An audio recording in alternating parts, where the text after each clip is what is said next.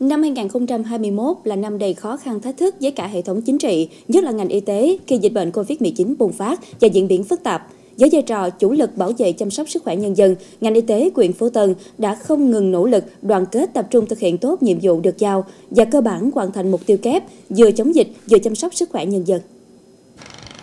Trung tâm Y tế quyện đã duy trì và thực hiện tốt các hoạt động thường xuyên, công tác khám chữa bệnh luôn được củng cố và nâng cao, đáp ứng được nhu cầu khám chữa bệnh của người dân ở hai tuyến. Công tác phòng chống lây nhiễm COVID-19 được triển khai thực hiện tốt theo chỉ đạo của cấp trên. Trung tâm Y tế quyện đã thành lập các khu thu dung điều trị bệnh COVID-19, phân công lực lượng y bác sĩ trực tại 8 khu điều trị. Nhiều giải pháp bảo vệ sức khỏe người dân được ngành y tế triển khai thực hiện kịp thời, góp phần giảm bệnh nhân chuyển nặng và tử vong do COVID-19. Với sự quyết tâm nỗ lực của ngành y tế, cùng sự vào cuộc của cả hệ thống chính trị, sự đồng lòng của mọi người dân, năm 2022, huyện Phú Tân tiếp tục phát huy hiệu quả công tác chăm sóc sức khỏe nhân dân, đặc biệt là phòng chống dịch bệnh COVID-19, đảm bảo mục tiêu kép, vừa phòng chống dịch vừa đảm bảo phục vụ, duy trì khôi phục phát triển kinh tế xã hội, bảo đảm an sinh xã hội, sức khỏe của nhân dân.